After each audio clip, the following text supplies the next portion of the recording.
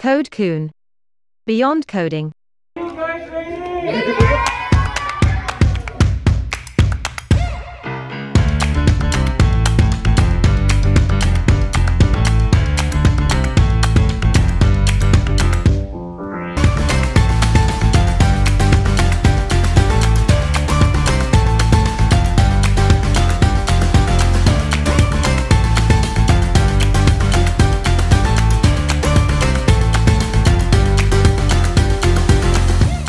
Okay, so maybe you tell me a little bit more, like what was your project about?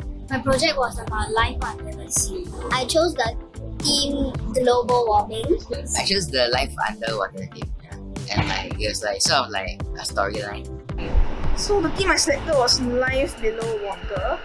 I chose um, climate action because I have a little bit of experience doing that before. Life below water. My game was a lot about different obstacles, quizzes, about information regarding life below water. You get the answer correct, you move on. So, what do you think is the most challenging thing just now when you were taking part in the challenge? Oh, the most challenging part is when I typed down the signboards, I had a lot of typos and technical errors. And there was a challenge that I don't know how to save it to the file. Well, when I was creating because I created some of my models before. But then I discovered that my one my models didn't quite fit the obstacles. So I had to like resize it and like fix everything. And yeah, like I guess that was a very big challenge. Making the terrain, I think. Like some of the textures weren't loading, and then it was like I was like panicking so hard because like it's not working, it's not working, it's not working, everything's not working. Being very creative is a difficult challenge yes, for any competition. So, how do you overcome those challenges? I just tried my best to type as quickly as I could by asking any staff member.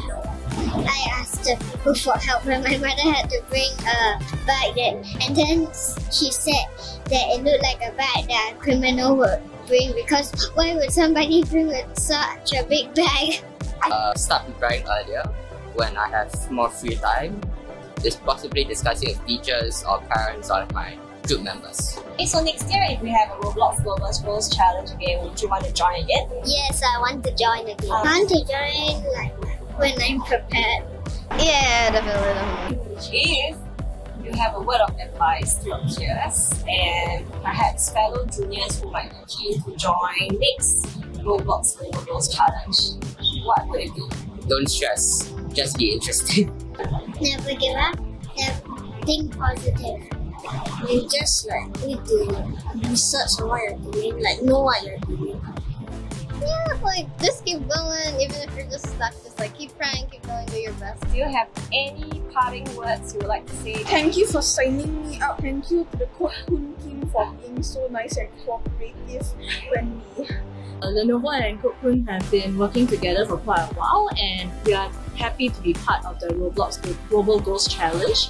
Uh, we hope that you know uh, students enjoy using our laptops, and uh, you know parents have some insight uh, to Lenovo laptops as well. Uh, just happy to be part of the team. It's great to see everybody out here today also.